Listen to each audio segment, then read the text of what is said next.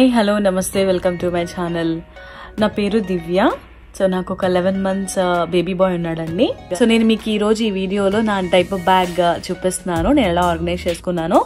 So ముందుగా ఇది వచ్చేసి నా బ్యాక్ ప్యాక్ అండి. నేను రెగ్యులర్గా యూజ్ చేసే బ్యాక్ ప్యాక్ అనమాట బట్ నేను దీన్ని డైపర్ బ్యాగ్ ఎలా ఆర్గనైజ్ చేసుకున్నానో నేను మీకు చూపిస్తాను అండ్ uh, ముందుగా ఏంటంటే లైక్ మేము కెనడాలో ఉంటాము.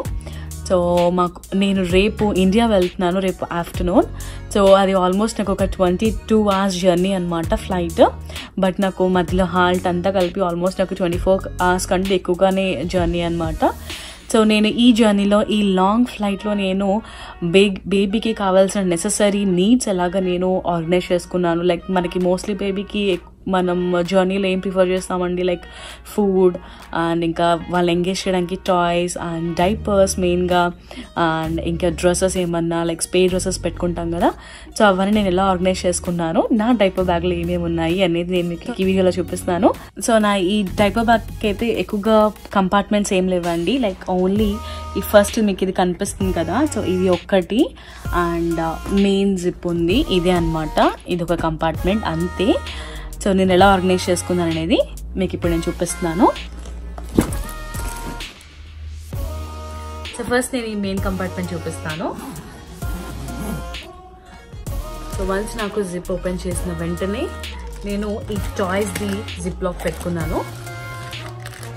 సో ఈ టాయ్స్ వచ్చేసి మా బేబీ ఫేవరెట్ టాయ్స్ అండ్ ఇవి వచ్చేసి నేను ఎప్పుడైనా సరే జర్నీ ఉందంటే లైక్ ఒక వన్ వీక్ ముందు నుంచి దాన్ని హైడ్ చేసేస్తాను కనిపించకుండా ఉంచుతాను. సో నాకు ఇది చాలా బాగా యూజ్ అవుతుంది. అండ్ తర్వాత ఫుడ్ ఐటమ్స్ సో ఇవి కంప్లీట్గా ఫుడ్ ఐటమ్స్ పెట్టుకున్నాను దీంట్లో. ఇది జిప్ లాక్ కవరింగ్ అండి ఇలాగా. సో లైక్ నేను ఇషాన్కి ఫీడ్ చేయాలంటే కనుక సో నేను ఈ ప్యాకెట్ ఒకటి ఓపెన్ చేస్తే సరిపోతుంది. దీంట్లో ఏమేమి ఉన్నాయంటే మీరు చూడొచ్చు సర్వింగ్ బౌల్ ఇంకా దాని spoon and wet wipes clean చేయడానికి అండ్ ఇవి వచ్చేసి బిప్స్ ఉన్నాయి. లైక్ తనుకి ఫీడ్ చేసేటప్పుడు ఏమీ మీద పడకుండా ఉండడానికి ఇలా బిప్స్ పెట్టుకున్నాను. సో బ్యాక్ సైడ్ మీరు చూసినట్లయితే food pouch packets and some cereals and formula milk packets and some tissue papers so ఇవి అండి ఓవరాల్ ఇది కంప్లీట్ ఫుడ్ బ్యాగ్ అయిపోతుంది. సో నాకు విషయానికి ఫీడ్ చేయాలన్నప్పుడు నేను జస్ట్ ఇది ఒకటి ఓపెన్ చేస్తే సరిపోతుంది. అండ్ ఇది వచ్చేసి ఇలా సైడ్ పెట్టుకున్నాను ఓపెన్ చేయంగానే. ఇది ఇషాన్ స్నాక్ బాక్స్ ఎప్పుడైనా ఇషాన్ ఎంగేజ్ చేయాలన్నప్పుడు నేను ఇలాగా స్నాక్స్ ఇస్తూ ఉంటాను. ఇవి చాలా ఇష్టంగా తింటాడు. అండ్ అండ్ ఇక్కడ మీరు చూస్తుంది అండ్ ఇది డైపర్ కిట్. ఇది ఎప్పుడైనా నేను డైపర్ చేంజ్ చేయాలనుకున్నప్పుడు ఈ కంప్లీట్గా ఈ కిట్ క్యారీ చేస్తాను.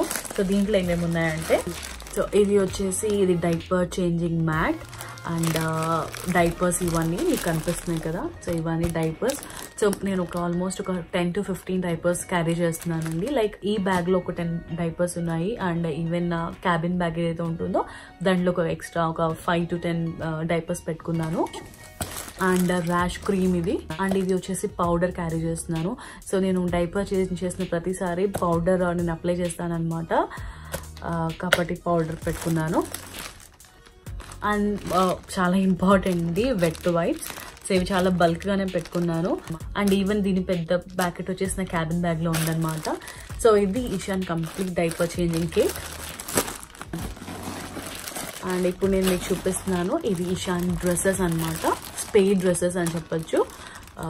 కొన్ని జంప్ సూట్స్ అండ్ చలి వేస్తే కనుక తనకి జాకెట్ పెట్టుకున్నాను అండ్ ఈవెన్ క్యాప్ పెట్టుకున్నాను. ఇలాగ ఉలెన్ క్యాప్ అనమాట ఒక్కొక్కసారి ఫ్లైట్లో మనకి ఏసీ ఎక్కువ ఉండి చలి అనిపించవచ్చు సో అలాంటప్పుడు నేను ఇవి పెట్టుకున్నాను.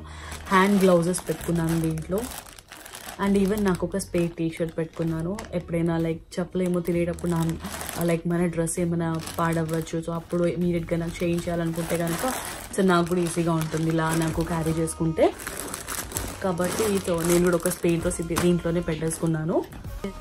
సో ఇక ఇక నేను హ్యాండ్ బ్యాగ్ క్యారీ చేయనండి. ఇదే నా కంప్లీట్ ఇషాన్కి ఇంకా నాకు కంప్లీట్గా ఇదే యూజ్ చేస్తాను. సో దీంట్లో నేను ఇది నా మెడికల్ కిట్ అనమాట లాస్ట్లో ఇక నాకు జిప్స్ ఉన్నాయి. ఒక టూ జిప్స్ ఇట్లా ఇచ్చారు. సో దీంట్లో వచ్చేసి మెడికల్ కిట్ పెట్టుకున్నాను. అండ్ దీంట్లో చాలా మనకి సో ఐ హోప్ నేను ఇది యూజ్ చేయకూడదు అనుకుంటున్నాను ఫ్లైట్లో. సో దీంట్లో ఏమేమి పెట్టుకున్నానంటే నాజల్ డ్రాప్స్ ఇంకా థైలాల్ థర్మోమీటర్ అండ్ మా కోసం విక్స్ ఒకటి పెట్టుకున్నాము. అండ్ ఇషాన్ uh, కోసం బేబీ వ్యాపర్ అండ్ ఈవెన్ కొన్ని ఫీవర్ టాబ్లెట్స్ అలా పెట్టుకున్నాము. అండ్ ఇంకా బ్యాక్ సైడ్ వచ్చేసి బడ్స్ కూడా ఉన్నాయన్నమాట. అండ్ దీంట్లో చాలా ఇంపార్టెంట్ uh, వచ్చేసి నేను ఇలాగా ఇస్ ఇషాన్ వ్యాక్సిన్ బుక్ కూడా క్యారీ చేస్తున్నాను. సో ఇది చాలా ఇంపార్టెంట్ అండి. లైక్ బేబీస్తో మనం బయటికి వెళ్ళినప్పుడు. సో కాబట్టి నేను ఇలాగా మోస్ట్లీ ఇలా నా మెడికల్ కిట్లోనే ఇది క్యారీ చేస్తూ ఉంటాను.